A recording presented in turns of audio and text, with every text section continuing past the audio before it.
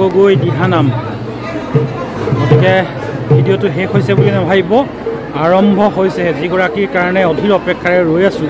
মই ৰৈ আছোঁ আৰু আপোনালোকৰ আপোনালোকেও নিশ্চয়কৈ শুনিছে নামটো অসমৰ এক চিনাকী নাম কমলা গগৈ। দিহানামৰ সম্ৰাট অনাতাঁৰ শিল্পী কমলা Gogoi.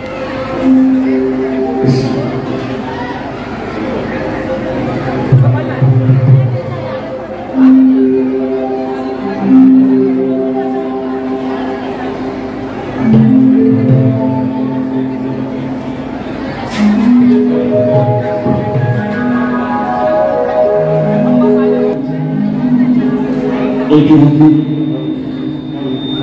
sesi sebalatan zaman ada aisyu berbesar. Oleh pemangli pada sekarang putus terjaga nama saya Jokowi Jokowi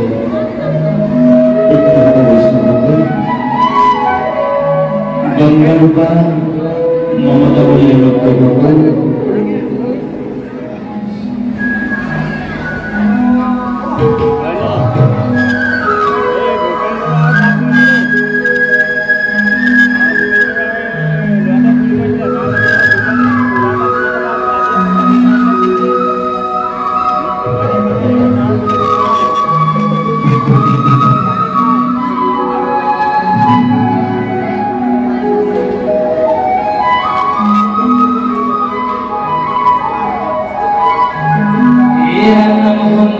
Amen.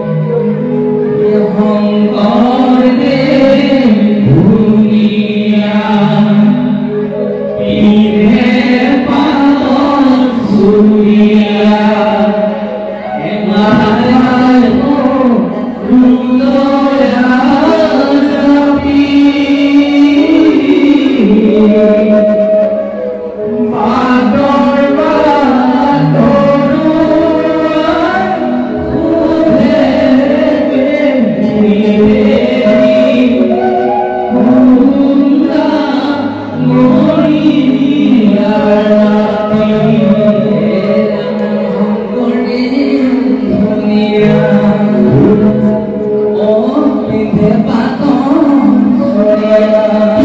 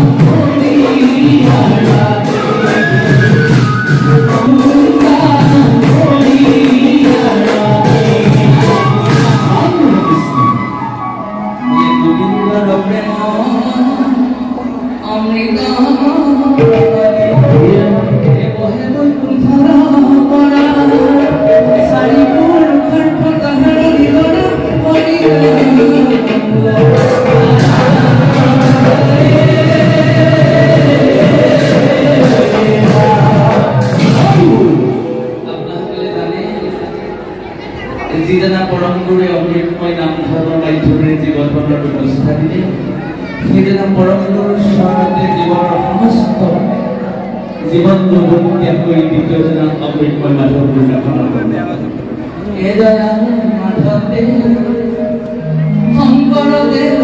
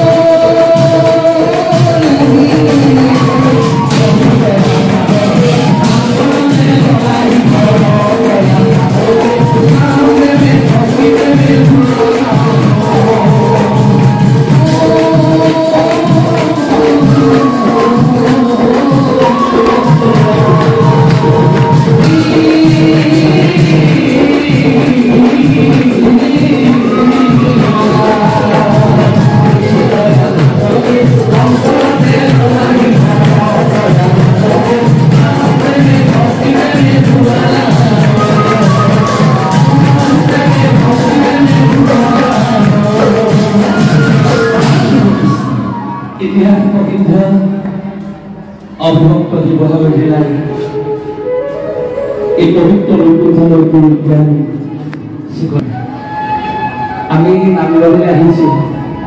নামৰ মাজতে প্ৰত্যাত্মাসকলৰ স্বৰতে কবিতা অ মনৰ অনুভৱটো প্ৰকাশ কৰিছোঁ বাইদেউ ভণ্টিও আজি ইয়াত আমাৰ চেঁচাহঁত আমাৰ ভক্তি প্ৰতীক ৰাজীৱ নাথ আৰু অক্তিল নাথ তেখেতৰ পৰিয়ালবৰ্গই সমস্ত বংশ ভাগি ভাওনা আগবঢ়াইছে। আমি যোৱা ৰাতি আগত সদূৰ নাৰায়ণপুৰত ৰাতি তিনিটা বজাত আজি যোৱা ৰাতি নাম সামৰিছোঁ চাৰে চাৰিটা বজাত। নাৰায়ণপুৰৰ পৰা আহি আহি বোকাখাটতে খন্তেক সময় বিশ্ৰাম লৈ ইয়াত নামলৈ পঢ়ি থাকোঁতে টোপনি আহিছিল ইমান ধুনীয়াকৈ নাম গাইছে নামৰ নামত পালে আমি মুগ্ধ হৈছে ৰাজীৱ ভক্তিমে ক'লে ককাইদেউ এইখন ঐতিহাসিক স্থান ইয়াত জাতি বৰ্ণৰ ইমান মিলা প্ৰীতি আপুনি ভাবিবই নোৱাৰে মানুহৰ একতা আছে ঊনৈছশ ছয়ানব্বৈ চনত অসম সাহিত্য সভাৰ অধিৱেশন হৈছিল আপোনালোকৰ বোকাখাটত পৰিসংখ্যা বিজ্ঞানৰ এজন সঞ্চালকে মোক জলপান খাবলৈ লৈ আহিলে ইয়ালৈ সেই সভাখনত বিদায়ী সভাপতি হিতেশ ডেকা ছাৰ যেতিয়া দান কৰে মই এতিয়া তেতিয়া একো বুজি পোৱা নাছিলোঁ এতিয়া নাম গাই থাকোঁতে কেতিয়াবা ভাবোঁ সঁচাকৈ গুৰুজনৰ কি অভিনৱ চিন্তা মহাপুৰুষ শ্ৰীমন্ত শংকৰদেৱ সঁচাকৈ এজন বৈজ্ঞানিক। অকল ধৰ্মগুৰুতে সীমাবদ্ধ হৈ থকা নাই চাৰি কোৱা কথাষাৰ মোৰ মনত পৰে। আলপিন আলমাৰি ইংৰাজী ভাষাকেইটা ইংৰাজী শব্দকেইটা অসমীয়া ভাষাত যা গ'ল যিসকল অসম লগত ইছলাম মূলৰ মানুহ আহি অসমীয়া সংস্কৃতিৰ লগত যাহ গ'ল গুৰুজনে মই ভাবোঁ।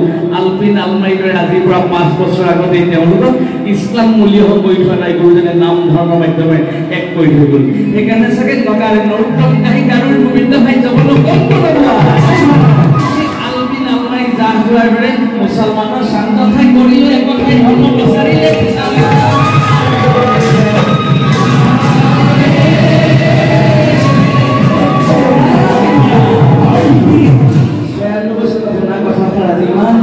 আছে বোকাখাততে শুনিছিলে সেই খণ্ডৰ কথা ছাৰৰ বক্তৃতা শুনিয়ে জলপন খাবলৈ আহিছিল ইয়ালৈ। আমাৰ সেই দীপক গোস্বামী প্ৰভু আছে, তেখেতৰ দেউতাকে খুব সুন্দৰভাৱে আমাক আপ্যায়ন কৰিছে। আজি ইয়াত প্ৰাসংগিকতা উপলব্ধি কৰিছোঁ। বোলে ধৰ্ম প্ৰচাৰিলে গুৰুজনা